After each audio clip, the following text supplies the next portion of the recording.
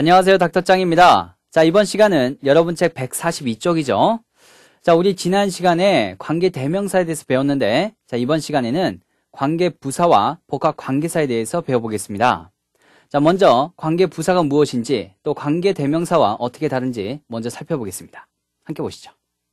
관계 대명사가 두 개의 문장을 결합시키는 접속사와 대명사의 역할을 하는 것에 비해 관계 부사는 두 개의 문장을 결합시키는 접속사와 부사의 역할을 하죠. 또 선행사를 수식하는 형용사절을 이끄는 경우와 선행사 없이 명사절 또는 부사절을 이끄는 경우가 있습니다. 또 관계부사는 전치사 플러스 관계대명사로 바꿔 쓸 수가 있습니다. 자, 그럼 기본 예문 동그라미 1번을 보겠습니다. Do you remember the time when it happened? 자, 같이 보죠. Do you remember the time? 너는 시간을 기억하니? 자, 무슨 시간이죠? When it happened. 그것이 일어난 이런 얘기죠. 정리해 보면 너는 그것이 일어난 시간을 기억하니? 이런 뜻입니다. 자, 우선 이 문장에서 선행사가 the time, 즉 시간이니까 때를 나타내는 명사를 선행사로 하는 관계부사 when이 쓰인 것입니다. 자, 원래 이 문장은 Do you remember the time? 자, 이런 문장과 It happened then 이런 두 문장이 합쳐진 것이죠. 자, 여기 관계부사 when은 두 문장을 연결시키는 접속사와 시간의 부사 then의 역할을 합친 것이 되겠습니다. 또 when 이하는 선행사 the time을 수식하는 형용사절이 되겠죠. 자, 그러면 방금 설명했던 두 문장을 관계 대명사를 써서 합치는 과정을 설명하도록 하죠. 자, 이런 과정은 여러분 설명하지 않으니까 한 번 할 때 정신 똑바로 차려서 들으시기 바랍니다. 함께 보시죠. It happened then에서 then은 그때, 즉 그 시간에 이런 의미로 at the time의 뜻이죠. 따라서 두 문장에서 time이 서로 공통이 되니까 윗문장의 the time을 선행사로 하고 at the time을 전치사에서의 목적어에 해당하는 목적격 관계대명사 위치를 이용해서 at 위치로 만들고 난 뒤에 the time 뒤에다 연결시킬 수가 있는 것입니다. 자, 연결시켜보죠. Do you remember the time at which it happened? 자, 원래 문장과 방금 관계대명사 위치를 이용한 문장을 비교해보세요.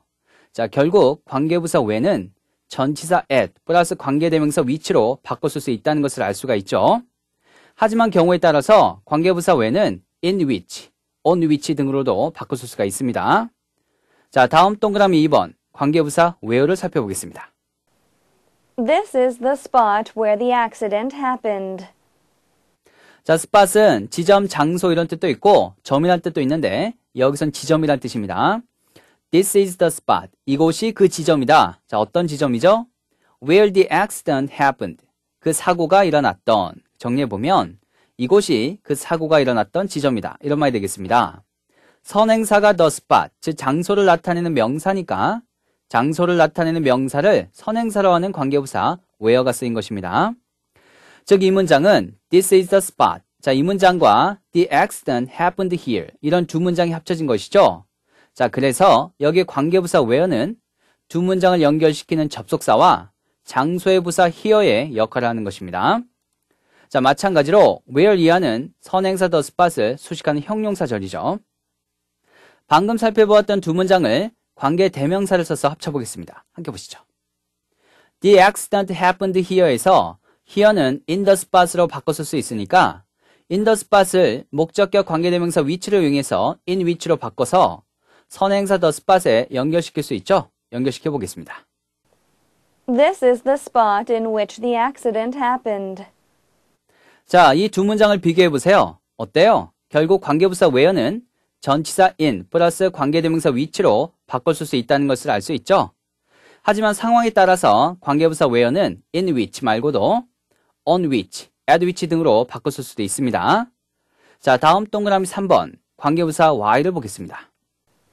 I'll tell you the reason why I rejected his invitation. 자, reject는 거절하다, invitation은 초대 이런 뜻이니까 I will tell you the reason. 나는 너에게 이유를 말해주겠다. 자, 어떤 이유죠? Why I rejected his invitation. 내가 그의 초대를 거절한 이유죠. 자, 정리해보면 나는 너에게 내가 그의 초대를 거절한 이유를 말해주겠다. 이런 말이 되겠습니다. 자, 선행사가 the reason, 즉 이유를 나타내는 명사니까 이유를 나타내는 명사를 선행사로 하는 관계부사 why가 쓰인 것이죠. 자, 이 문장은 I will tell the reason 이런 문장과 I rejected his invitation for that reason. 이런 두 문장이 결합된 것입니다. 자, 그래서 여기 관계부사 Y는 두 문장을 연결시키는 접속사와 이유의 부사구인 for that reason의 역할을 합친 것이죠. 자, 그리고 Y 이하는 선행사인 the reason을 수식하는 형용사절이 되는 것입니다. 자, 여기서도 for that reason을 for which로 만들어서 선행사 the reason에 연결시킬 수가 있습니다. 연결시켜 보죠. I'll tell you the reason for which I rejected his invitation. 자, 두 문장을 비교해 보세요. 결국 관계부사 Y는 전치사 for, 그 다음에 관계대명사 which로 쓸 수가 있다는 것을 알 수 있죠. 자, 다음 동그라미 4번. 이번에는 관계부사 how를 살펴보겠습니다. This is how they eat their food in China. 자, 여기 they는 뒤에 in China라는 말이 나오니까 중국인들 이런 뜻이겠죠. 자, 해석해 보면 이것이 중국인들이 중국에서 그들의 음식을 먹는 방법이다. 다시 말해 이것이 중국인들이 음식을 먹는 방법이다. 또는 중국인들은 이렇게 음식을 먹는다. 이런 말이 되겠습니다.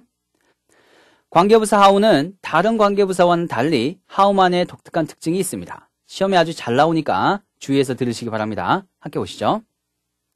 자, 문장을 보니까 how 앞에 선행사가 보이지 않죠?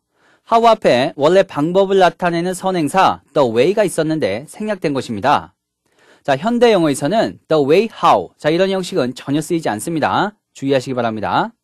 자, 그래서 the way나 how 중 하나를 쓰거나 아니면 4번에서 배우게 될 관계부사 that을 이용해서 the way that 혹은 관계대명사 which를 이용해서 the way in which 이런 형식으로 쓰입니다.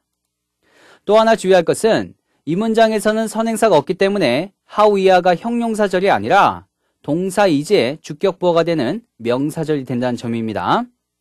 자, 이 점 유의하시면서 방금 설명해 드린 대로 how 대신에 다른 말들을 사용해서 여러 가지 문장으로 전환해 보겠습니다. 함께 보시죠. This is the way they eat their food in China. This is the way that they eat their food in China. This is the way in which they eat their food in China. 자, 지금까지 관계부사의 종류를 여러 가지 예문을 통해서 살펴보았는데요. 관계부사도 관계대명사처럼 개수조용법으로 사용될 수가 있습니다. 자, 그럼 2번으로 가서 관계부사의 개수조용법에 대해서 살펴보겠습니다. 함께 보시죠. 자, 모든 관계부사가 다 개수조용법으로 사용될 수 있는 것은 아니고요. 관계부사 중에서 when과 where만이 개수조용법으로 사용됩니다. 먼저 동그라미 1번 개수조용법의 관계부사 where를 살펴보겠습니다. I went to Rome, where I stayed for a week. I went to Rome. 나는 로마에 가서 where 거기에서 I stayed for a week. 일주일 동안 머물렀다 이런 얘기죠. 자, 장소의 관계부사 where 앞에 카머가 있으니까 개수조 용법이 되겠습니다. 자, 여기 where는 접속사 and와 장소의 부사 there, 즉 and there의 의미가 있습니다. 자, 다음 동그라미 2번 개수조 용법의 관계부사 when을 보겠습니다. We were about to start our game when it started to rain heavily. were about to start를 보니까 예전에 배운 기억이 나시죠? be about to 부정사는 beyond the point of ing와 같은 의미로 막 뭐뭐 하려고 하다 이런 뜻이니까 We were about to start our game. 우리가 막 경기를 시작하려고 하는데 when 바로 그때 it started to rain heavily. 비가 심하게 내리기 시작했다. 다시 말해 폭우가 내리기 시작했다. 이런 말이 되겠습니다. 시간의 관계부사 when 앞에 역시 카머가 있으니까 계속조 용법이죠. 여기 외는 적사 and와 시간의 부사 then, 즉 and then의 의미를 갖는 것입니다. 자, 지금까지 개수조용법의 관계부사를 살펴보았습니다. 자, 다음으로 관계부사의 선행사가 생략되는 경우를 보겠습니다. 관계부사가 이끌 수 있는 절은 형용사절, 명사절, 부사절이 있는데 그 중에서 명사절과 부사절이 선행사가 생략되는 경우죠. 먼저 동그라미 1번, 관계부사가 형용사절을 이끄는 경우를 보겠습니다. This is the reason why I came to see you. This is the reason. 이것이 그 이유다. Why I came to see you. 내가 너를 보러 온. 이것이 내가 너를 보러 온 이유이다. 즉, 이러한 이유로 나는 너를 보러 왔다. 이런 의미죠. 이유의 관계부사 why가 이끄는 절, 즉, why I came to see you는 선행사 the reason을 수식하는 형용사 절이죠. 이 경우 선행사 the reason을 생략하면 어떻게 되겠습니까? This is why I came to see you. This is why I came to see you. 이런 식이 되겠죠? 의미는 같지만 why 이하가 이번에는 형용사절이 아니라 is의 주격 보어가 되는 명사절로 바뀌게 되겠죠? 아래 설명 예문을 두 개 더 보겠습니다. This is where he was born. This is where he was born. 이곳이 그가 태어난 곳이다. 장소의 관계부사 where 앞에 선행사 the place가 생략된 거죠. Where 이하가 형용사절에서 선행사 the place가 생략되면서 주격 보호로 명사절로 바뀌죠. 다음 문장. Sunday is when I am not busy. Sunday is when I am not busy. 일요일은 내가 바쁘지 않은 날이다. 시간의 관계부사 when 앞에 선행사 the day가 생략된 거죠. 역시 when 이하가 형용사절에서 선행사 the day가 생략되면서 주격 보호로 명사절로 바뀌는 거죠. 다음 동그라미 2번. 이번에는 관계부사가 부사절을 이끄는 경우를 보겠습니다. When you finish reading the book, put it back where you found it. When you finish reading the book, 네가 그 책 읽는 것을 마치면, 다시 말해 그 책을 다 읽으면 put it back, 그것을 도로 갖다 놓아라. 자, 어디에? Where you found it, 네가 그것을 발견한 곳에. 정리해보면 그 책을 다 읽으면 원래 있던 곳에 갖다 놓아라. 이런 말이 되겠습니다. 자, 여기서 보면 관계부사 where 앞에 선행사인 the place 뿐만 아니라 전치사 at까지 생략된 것이죠. 즉, at the place가 생략된 것입니다.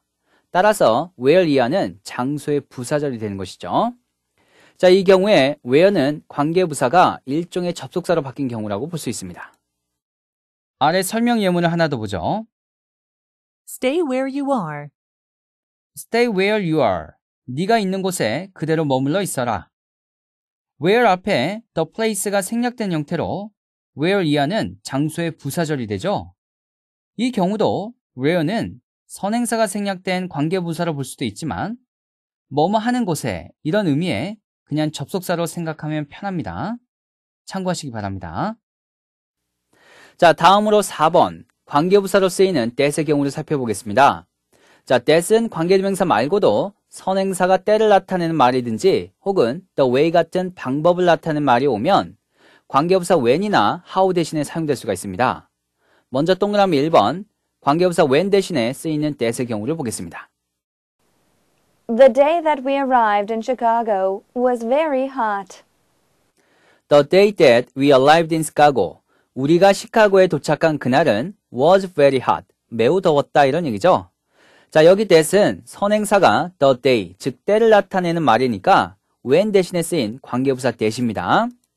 대개 구어체에서는 이런 경우에 that을 생략하고 쓰죠. 그래서 the day we arrived in Chicago was very hot. 이런 식으로 더 많이 쓰입니다. 자, 다음 동그라미 2번. 관계부사 how 대신에 쓰이는 that을 보겠습니다. You must do it the way that I do. You must do it. 너는 그것을 해야 한다. The way that I do. 내가 하는 방식으로. 정리하면 너는 내가 하는 방식으로 그것을 해야 한다. 다시 말해 너는 내가 하는 대로 그것을 해야 한다. 이런 말이 되겠습니다.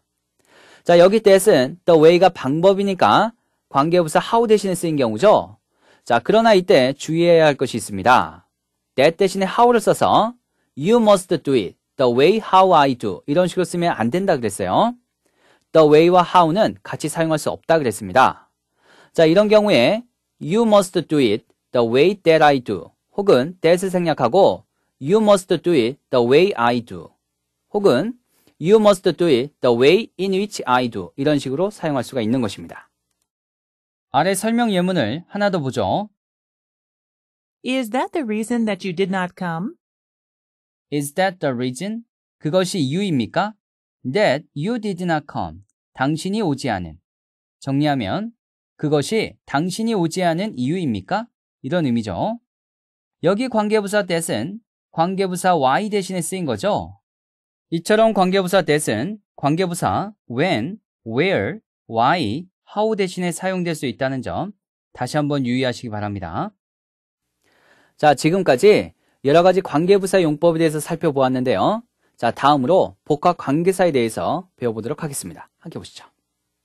복합 관계사라는 것은 관계대명사 who, which, what에 ever를 붙인 형태, 즉 whoever, whichever, whatever 같은 복합 관계대명사와 관계부사 where, when, how에 ever를 붙인 형태인 복합 관계부사를 통틀어서 복합 관계사라고 합니다.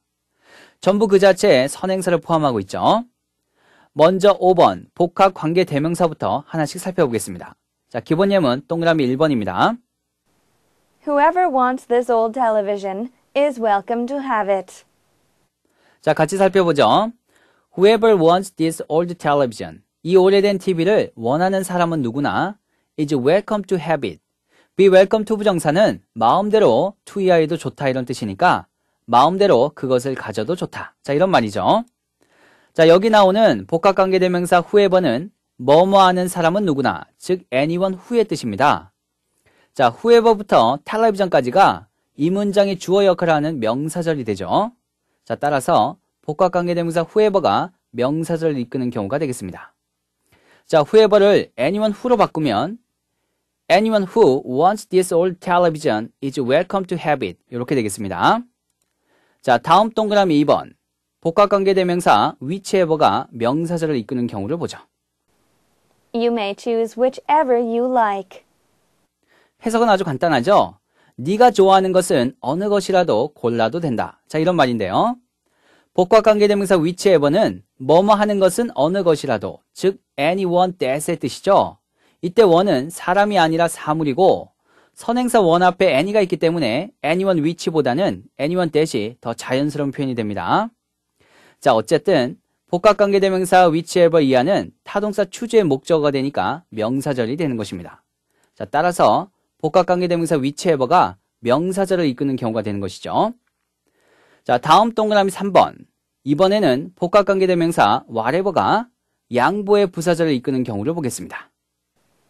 Whatever happens, I will marry her. Whatever happens, 무슨 일이 일어나든 간에 I will marry her, 나는 그녀와 결혼하겠다 이런 얘기죠. 복합관계대명사 whatever는 no matter what의 뜻입니다. 그래서 whatever happens 혹은 no matter what happens는 무슨 일이 일어나든 간에 자 이런 뜻의 양보의 부사절이죠. 자 이처럼 복합관계대명사 whatever는 양보의 부사절을 이끌 수가 있는 것입니다. 자 다음으로 복합관계 형용사라는 것이 나옵니다. 말 그대로 형용사기 때문에 뒤에 나오는 명사를 수식하죠. 자 일단 복합관계 형용사가 무엇인지 살펴보겠습니다. 함께 보시죠. 복합관계 형용사라는 것은 복합관계대명사 중에서 whatever, whichever가 그 뒤에 명사를 수반해서 그 명사를 수식하는 형용사의 역할을 하는 것을 말하죠. 자, 따라서 복합관계 형용사는 형용사의 역할을 하면서 명사절이나 양보의 부사절을 이끌게 됩니다. 자, 예문을 보시죠. The dog eats whatever food I give him. 자, 해석해 보면 그 개는 내가 그에게 주는 어떤 음식도 먹는다. 자, 이런 말인데요. 자, 여기서 보면 복합 관계대명사 whatever, 그 다음에 명사 food. 자, 이런 식으로 어떤 뭐뭐이든지, 즉 any 명사 that의 의미가 됩니다.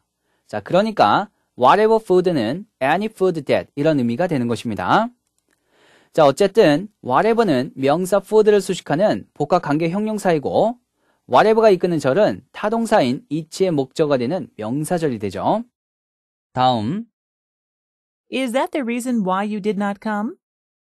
Use whichever room you like. 네가 마음에 드는 어느 방이든 사용해라. whichever는 명사 room을 수식하는 복합관계 형용사이고 whichever가 이끄는 절은 타동사 use의 목적어가 되는 명사절이 되죠. whichever room은 any room that 혹은 any of the rooms that 이런 의미죠. 자, 다음 자습사에 나오는 예문을 하나 더 보겠습니다. Whichever side wins, it doesn't matter to me. Whichever side wins. 어느 편이 이기든지 it doesn't matter to me. 그것은 나에게 중요하지 않다. 다시 말해 그것은 나에게 상관없다. 자 이런 뜻이죠. 복합관계 형용사 whichever 플러스 명사. 자 이런 형식이 되면 어느 뭐뭐이든지 그래서 no matter which 플러스 명사 이런 의미가 됩니다. 그래서 whichever side wins는 no matter which side wins 이런 의미가 되죠. 자 어쨌든 whichever가 명사 side를 수식하니까 여기 whichever는 복합관계 형용사가 되고 whichever side wins는 no matter which side wins 이런 뜻이니까 양보의 부사절이 되는 것입니다. 자, 지금까지 우리는 복합관계 대명사와 복합관계 형용사에 대해서 살펴보았습니다. 자, 다음 6번에서는 복합관계 부사가 나옵니다. 함께 보시죠. 자, 복합관계 부사라는 것은 아까 복합관계 대명사를 설명할 때 잠깐 설명해 드렸지만 자, 다시 한 번 더 간단하게 정리를 하고 넘어가죠. 복합관계 부사라는 것은 관계부사 when, where, how에 ever를 붙인 형태를 말합니다. 복합관계 대명사와 마찬가지로 그 자체에 선행사를 포함하고 있으며 장소나 때의 부사절 혹은 양보의 부사절을 이끕니다. 자, 그럼 먼저 동그라미 1번을 보시죠. The detective followed him wherever he went. The detective followed him. 그 형사는 그를 따라다녔다. Wherever he went. 그가 가는 곳은 어디에나. 정리해보면 그 형사는 그가 가는 곳은 어디든지 따라다녔다. 자, 이런 말인데요. 복합 관계부사 wherever는 뭐뭐 하는 곳은 어디든지. 자, 이런 뜻으로 to any place that, at any place that, 혹은 in any place that 이런 의미가 되겠습니다. 자, 여기 복합 관계부사 wherever는 wherever he went라는 장소의 부사절을 이끌고 있죠. 자, 다음으로 동그라미 2번. 복합 관계부사 whenever가 쓰인 경우를 보겠습니다. You can call me whenever you like. 해석은 간단하죠. 네가 좋을 때 언제든지 나에게 전화해도 된다. 자, 이런 말인데요. 복합 관계부사 whenever는 뭐뭐 할 때는 언제든지, 즉 at any time that의 의미가 됩니다. 자, 문장을 바꿔보면 You can call me at any time that you like. 혹은 구어체에선 대부분 대시 생략이 되니까 You can call me at any time you like. 이렇게 되겠습니다. Whenever you like는 네가 좋을 때는 언제든지 이런 의미의 부사절이니까 복합관계부사 whenever가 시간의 부사절을 이끄는 경우가 되겠습니다. 자, 다음 동그라미 3번으로 가죠. We have to finish this work, however long it takes. We have to finish this work. 우리는 이 일을 끝내야 한다. However long it takes. 아무리 오래 걸리더라도 정리해 보면 아무리 오래 걸리더라도 우리는 이 일을 끝내야 한다. 자, 이런 말인데요. 복합관계부사 however는 아무리 뭐뭐 하더라도 즉 no matter how의 뜻이죠. 자, 따라서 however long it takes는 no matter how long it takes. 아무리 오래 걸리더라도 이런 양보의 의미를 갖는 부사절이 되겠습니다. however 플러스 형용사나 부사 혹은 no matter how 플러스 형용사나 부사 자 이런 형식으로 하나의 구문으로 암기해 주시는 것이 좋겠습니다. 자 지금까지 복합 관계부사까지 설명을 해드렸는데요. 이제 마지막 7번으로 가서 관계 형용사를 살펴보겠습니다. 함께 보시죠. 관계 형용사라는 것은 관계 대명사 중에서 위치와 what이 그 뒤에 명사를 수반해서 그 명사를 수식하는 형용사 역할을 하는 경우를 말합니다. 자, 그럼 먼저 동그라미 1번 위치 플러스 명사의 경우를 보겠습니다. He spoke to me in German, which language I didn't understand. 자, 우선 위치 앞에 카머가 있으니까 계속적 용법이죠. He spoke to me in German. 그는 나에게 독일어로 말했다. Which language I didn't understand. 그런데 나는 그 말을 이해하지 못했다. 자, 이런 뜻이죠. 자, 이처럼 관계 대명사 위치는 위치 플러스 명사. 자, 이런 형태로 사용될 수 있는데 반드시 계속적 용법에서만 이런 용법이 가능한 것입니다.